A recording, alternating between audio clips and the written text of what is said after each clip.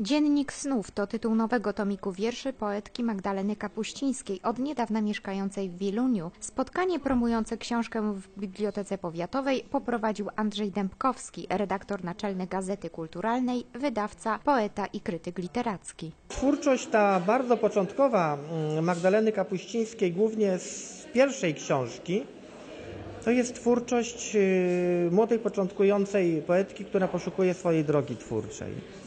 Było tam mnóstwo wierszy, które ja nazywam tak zwanymi, tak yy, nazywam wierszami rymowanymi. Mm, Było dużo błędów formalnych, stylistycznych, yy, mieszanie poetyk w, ciągu, w- w obrębie jed, jed, jednego wiersza, co praktycznie jest niedopuszczalne.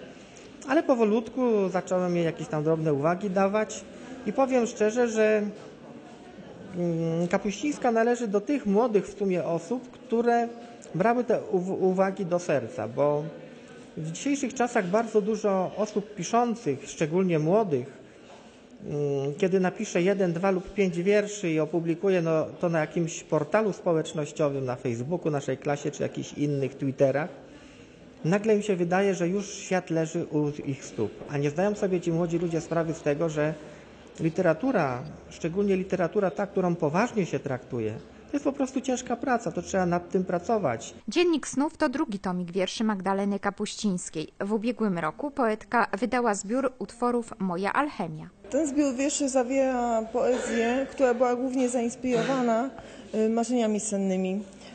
Materiał, nad którym pracowałam do, do przygotowania tomiku, y, był to rękopis mojego właśnie takiego prowadzonego dziennika snów z, z ostatnich trzech lat. Jest y, tam kilka wierszy już trochę odbiegających od poprzedniego tomiku, od poprzedniej konwencji. Y, Pojawiły się wiersze wolne, nie tylko rymowane żeby pokazać taki szersze spektrum moich umiejętności. Tematy są różne, od tak naprawdę od życia codziennego, e, po miłość, po związki międzyludzkie, e, po erotykę nawet sięgają, także ciężko jest. Ja stosuję taką zasadę esencji, alche, alchemicznie rzecz ujmując, że wyciskam z tych swoich wierszy, z tej poezji tak naprawdę e, te najlepsze wiersze, te najlepsze dopracowuję i, i wrzucam. Dlatego te tomiki nie są aż takie wypchane tą poezją, są cienkie, ale są myślę, że klarowne myślą. Spotkaniu w Bibliotece Powiatowej towarzyszył wernisaż prac Magdaleny Kapuścińskiej. Niektóre z nich znalazły się w Dzienniku snów. Te prace, które widzicie, Państwo, są tak naprawdę e, rysowane cienkopisami, piórem, ołówkiem. Różnie to bywa. Zależy, co mi wpadnie w rękę. E, ale głównie są rysowane pisakami jakimiś i są później poddawane obróbce graficznej, żeby zmienić fa- fakturę tła. Utwory młodej poetki recytowali uczniowie zespołu szkół nr 2 imienia Jana Długosza. Znaczę krwią karty przeznaczenia. Wypełniam dni treścią pełną ciosów. Zdobywam stopnie wtajemniczenia, by zapisać dla potomnych losu tablicę. Oświetlam zaciemnione świadomości piwnice, byś pojął potęgę wiedzy jako krok do wolności. Odkrywam zakodowane w sercu tajemnice. Zabierz mnie, Panie, z beznadziejnego mostu, który łączy ziemię z niebem.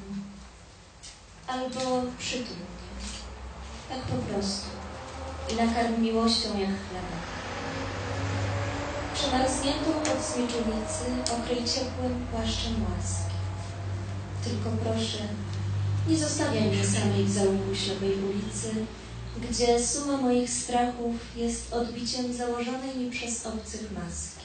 Oprawę muzyczną zapewnił zespół Tadeusza Nic nie rusza z Wieluńskiego Domu Kultury. Już Ciebie nie ma, niemożliwe.